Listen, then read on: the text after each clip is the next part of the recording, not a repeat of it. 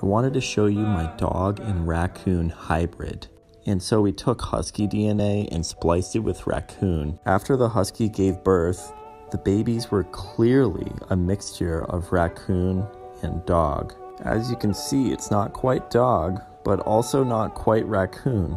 We kept breeding them, and so far have about 27.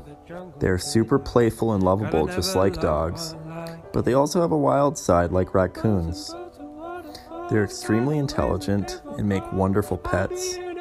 We've given some away to friends and family, but we've let the rest of them go into the wild, and they return on occasion to say hi. I've always wanted to make venomous mammals, and so I extracted DNA from my pet king cobra, and I extracted DNA from our pet deer here. Snake deer hybrids are the world's first venomous mammals. They're extremely venomous, but oh so cute and cuddly. Although this isn't what we expected, we're glad the way it turned out.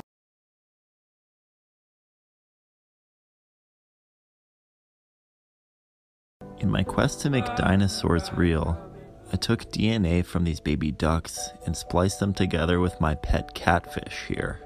We fertilized some eggs, and after some time, they hatched, and what was born was out of this world. This is a catfish with legs. This first ever one of a kind creature is both fish and bird. You can see its bird feet and catfish body. This creature wasn't exactly what we were going for when we set out to make dinosaurs real, so we set it free in the local swamp and we got back to work in the laboratory. Nothing new is sweet. I wanted to see what would happen if I mixed otter DNA with cat DNA. And with the help of my cat Fluffy here, we did just that. After a few months, we had a crossbreed which we bottle fed until it was old enough to eat on its own. This was one of the coolest animals I've ever made because it was almost like a dog, but it was more like a cat. It was so strange. This is the first ever otter feline. As you can see, they have a wild streak in them, but they're also wonderful pets. We let a few of them go, and as always, they come back to eat whenever they're hungry. Thanks for watching. Follow for part two. I've always wanted my pet worm and pet lizard to be friends, but they never seem to get along. And so I decided to combine their DNA into one animal in my home laboratory. And after five months, we created a lizard worm. I call this a wizard because it is a lizard and a worm. Like a worm, it has a very long, wet body, but it also has arms and legs like a lizard. Loves to burrow in the sand and just hang out. I've given many of these away to friends and family, but I've let the rest of them go in the wild. Follow to see more of my hybrid animals.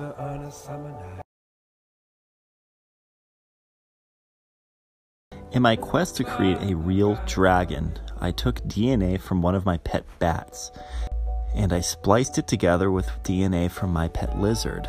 I fertilized eggs, and after a few months, we had our first example of a dragon.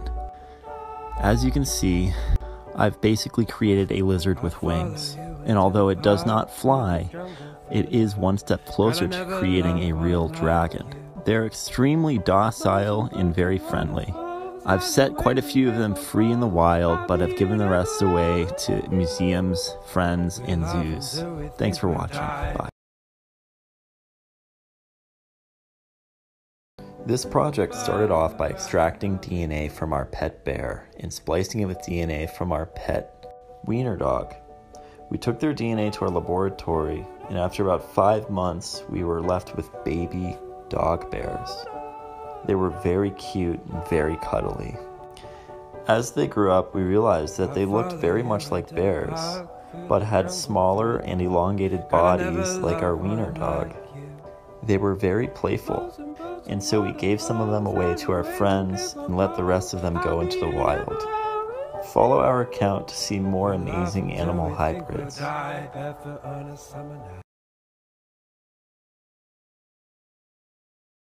This experiment started off with extracting DNA from my pig monk, which is a half pig, half chipmunk.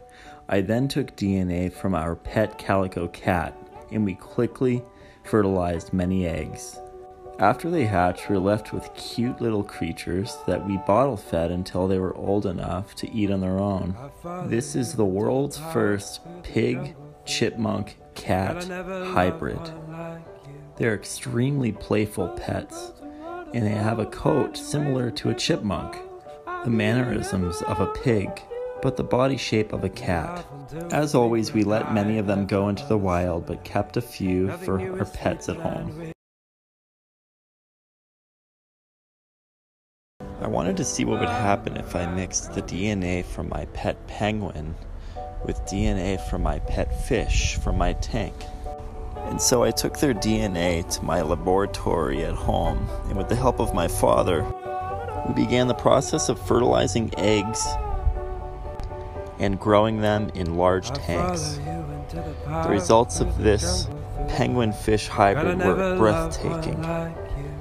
This is a fish that breathes air like a penguin, but it's still a fish. Follow for part two. After creating a two headed snake, we wanted to show you our two headed turtle. After fertilizing the eggs, we used hens to keep our two headed turtles warm. The experiment worked wonderfully.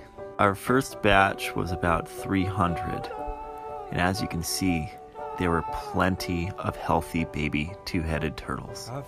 The best part about these two headed turtles is that they'll never be lonely. They're so lovable and cute and fun, and we sell them for $5. Follow our page to watch us send their DNA into 23andMe to see what kind of results we get back. Thank you. My wife wanted me to make a coon dog, and so we took DNA from our pet raccoon and spliced it with our pet German Shepherd in our home laboratory. After we fertilized eggs, it took a few months before they began to hatch. These newborn coon dogs were so cute. We bottle fed them until they were old enough to eat solid coon dog food, which is basically a mixture of raw meat and dog food. These coon dogs look more like raccoons but act more like dogs. They're so lovable and friendly and cute and smart. We've let a few of them in the wild and given the rest of them to friends. Follow for part two.